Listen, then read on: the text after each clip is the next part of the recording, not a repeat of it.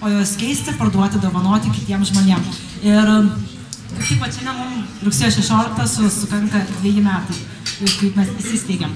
Ir kas tai yra mano drabužiai? Pirmiausia, tai yra portalas, kuriame karaliauja moteris. Ir nors džiugu, kad vyro auditorija taip pat didėja. Amžius yra labai įvairus, bet daugiausia tai yra 17-35 metų moteris nu, noriu pasigirti, kad pas mus yra viena 70 metų kaunietė, kuri turi, e, yra rankdarbininkė ir kuri naudojasi internetu žymiai pigiau negu daugelis 20 mečių.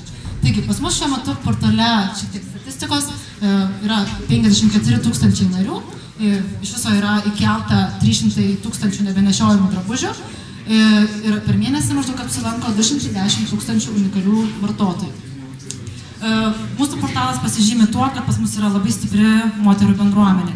E, čia moteris bendrauja ne tik apie drabužius, bet jos kartu vaikšto į naktinius klubus, žiūri krepšinį, e, diskutuoja apie vyrus. Čia neseniai buvo tema apie mylužius, arba kokį vyrą rinktis, ar mylužį, ar, ar skirtis su vyru. Tai va, apie viskas pakalba.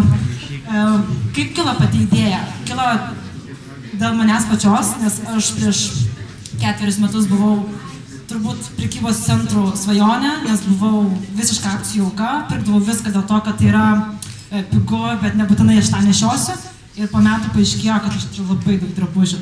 Tai va, ir gėda sakyti, bet pasakysiu, kad aš suradau 150 gal daugiau drabužių, kurių aš nenešioju. Tai va, sudėjau juos pas save į portalą ir galiausiai va, iš to va, gavau irgi naudos. Pardaviau maždaug už 400, išsimaniau už 300, o dar daugiau padovanojau. Kuo, kalbant apie portalų ypatumus, tai šitas portalas yra visiškai nemokamas. Kadangi mūsų idėja yra skatinti prasmingesnį vartojimą, mes norim, kad visi žmonės turėtų lygias galimybės atskratyti savo nebenešiojamais drabužiais. Taip pat mes labai skatiname rankdarbius. Mes, pas mus yra atskiras kiltis rankdarbių kuriejams, nes mes skatinam viską, kas yra pasigaminta tavo paties bet taip pat mes labai dažnai organizuojam kūrybinės dirbtuves, e, kurių metu mokame nemokamai žmonės, norinčius išmokti pasigaminti įvairius rankų darbo papuošalus, kaip patiems pasigaminti ir to darom viską nemokamai. E, Daugelį gali kilti klausimas, kodėl tai yra taip populiaru, ar tai yra iš viso populiaru. Ir visgi teisybė yra ta, kad moteris badauja, kad galėtų nusipirkti naujų drabužių. Ir jos čia nuo uh, vyrų mainosi drabužiais. Bet to jos yra bendromeniškos viena kitos atžvilgių. Čia yra faktai, kurie padaryti uh, mūsų portalo narių. E, čia galite matyti mūsų bendrą statistiką, kiek mes, kiek mes augom per pastruosius du metus. Lietuvoje esame 60 pagal puslapių parodymus ir viso šitą, šitą pasiekėm, realiai perkama reklama per visus tos du metus buvo, ją išleista lygiai 0 litų. Tačiau mes niekad nepirkom reklamos. Ir čia dabar parinkau tokius perliukus apie mano drabužius. Pavyzdžiui, jau ir iš vaikino sulaukiau priekaištų, kad man niekas daugiau nerūpi, tik mada. E, tuo reikės gydytis priklausomybę ir kurti anoniminį mada narių klubą. Kai visiems išgerti ar parūkyti, tai man į mada nueiti. E, daug čia ligonių, tame tarpe ir aš. Tai tasme tokios dažnai kuriamos temos, modeliga ir panašiai.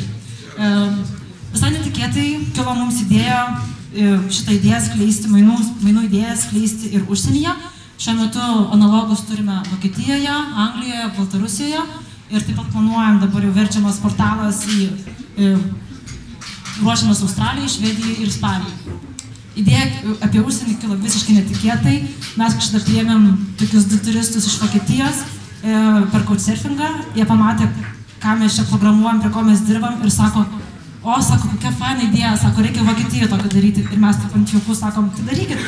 Ja, tai gerai, darykim. Tai žodžiu, taip ir kilo mintis ir taip netikėtai išsivystėm ir į Vokietiją. Uh, grįžtant prie portalo ypatumų, kaip jau minėjau, mes esam, mūsų vienas iš tikslų yra E, organizuoti nemokamus renginius, nes pas mus viskas, viskas yra nemokama. Ir mes dažnai organizuojam gyvus narių susitikimus, kurie gyvai susitinka, mainosi, dovanoja, taip pat organizuojam mainimosi akcijas, kūrybinės dirbtuvės ir panašiai. Ir čia, kad taip pat noriu pakviesti šį šeštadienį, per Kauno naktis prie Soboro bus kaip tik mainų spinta, kur galėsite atnešti savo nebenešiojamus drabužius ir mainais pasimti kažką, kas jums labiau patiks. Ir taip pat bus kūrybinės dirbtuvės, e, bus įvairių technikų mokama ir tas viskas, žinoma, pat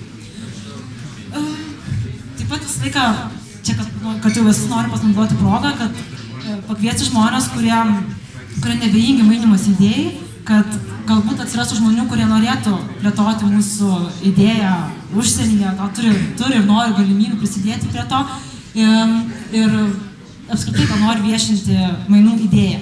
Ir kadangi tai yra, m, mūsų tikslas yra skatinti prasmingesnį vartojimą, mes norim, kad žmonės manytųsi e, gatvėje, universitetuose, kavinėse, baruose, visur, kur tik tai įmanoma. Ir e, dėl to vat, ieškom žmonių, kurie palaiko šitas idėjas. E, galbūt čia vat, yra kažkokių tai kavinių atstovų, barų atstovų, kurie norėtų, e, kad mes pas juos darytumėm kūrybinės dirbtuves, tiesiog, vat, e, žodžiu, kviesti e, žmonės manytis, e, kviesti žmonės kurti patiems, nepirkti iš kažkur tai kitur, o, o tiesiog susikurti savo mielą dalyką. Taigi, čia po to bus poros skaidrių, kadangi nesugavau ką parašyti, bus klausimai ir ačiū uždėmesi.